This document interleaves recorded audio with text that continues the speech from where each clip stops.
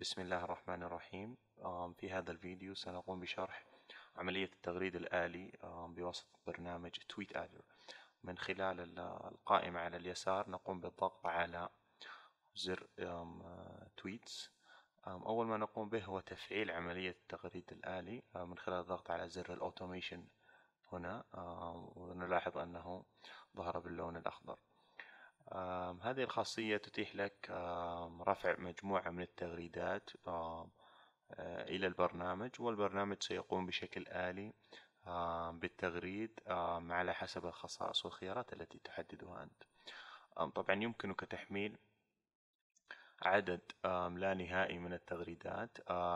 أول ما تقوم به هو أن تضعها في ملف تكست ومن ثم تذهب إلى import tweet list أو استيراد قائمة التغريدات. وقد اخترنا هذا الملف آه، الافتراضي تغريدة رقم واحد تغريدة رقم اثنان تغريدة رقم ثلاثة أربعة وخمسة. لما نقوم باختيار هذا الملف ستظهر لنا التغريدات واحدة تلو الأخرى ومجموعها خمس تغريدات. بعدها آه، نبدأ بوضع الخيارات. الخيار الأول هو الفترة الزمنية بين كل تغريدة والأخرى. Post tweets every 3 to 7 minutes. الخيار الافتراضي هو أن يقوم بتغريد مرة واحدة كل ثلاثة إلى سبع دقائق. لو أردت تغريدة واحدة كل ساعتين على سبيل المثال نغير الخصائص إلى 120 دقيقة. إلى لنفترض 122 دقيقة. أما الخيار الآخر هو maximum number of tweets per day الحد الأقصى للتغريدات في اليوم. هنا الخيار الافتراضي 20 يمكنك تغييره إلى أي عدد تريده. الخيار الذي أسفله هو خيار التغريد العشوائي.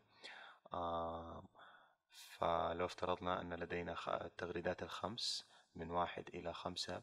لو ضغطنا على خيار التغريدة العشوائي سيقوم البرنامج باختيار تغريدة واحدة كل مرة بشكل عشوائي. فعلى سبيل المثال قد يبدأ بتغريدة رقم أربعة ثم رقم اثنان ثم رقم ثلاثة وهكذا. لو ألغينا, لو ألغينا الخيار سيقوم بالتغريد بشكل متسلسل من واحد إلى خمسة. الخيار الأخير هو خيار recurring tweets أو التغريدات التي لا تزال. لو كان الخيار هذا غير معلم عليه سيقوم البرنامج بإزالة التغريدة من البرنامج بعد أن يقوم بالتغريد بها. لكن لو اخترنا هذا الخيار أو علمنا عليه سيقوم البرنامج بالإبقاء على التغريدات وسيعيد تغريدها بعد انتهاء الدورة. فلو افترضنا أن البرنامج يحتوي على ألف تغريدة سيبدأ البرنامج من تغريدة رقم واحد إلى أن يصل إلى التغريدة رقم ألف ثم يعود إلى تغريدة رقم واحد من جديد وهكذا. فيمكنك الاختيار بين إزالة التغريدات أو الحفاظ عليها. هذا فيما يخص خاصية التغريد الآلي في برنامج تويت آدر للاطلاع على كافة الشروحات التي تخص البرنامج. يمكنكم متابعة الروابط أسفل الفيديو. ولأي استفسار أو مساعدة يمكنكم التواصل معنا من خلال العناوين الموجودة في الوصف. شكرا جزيلا.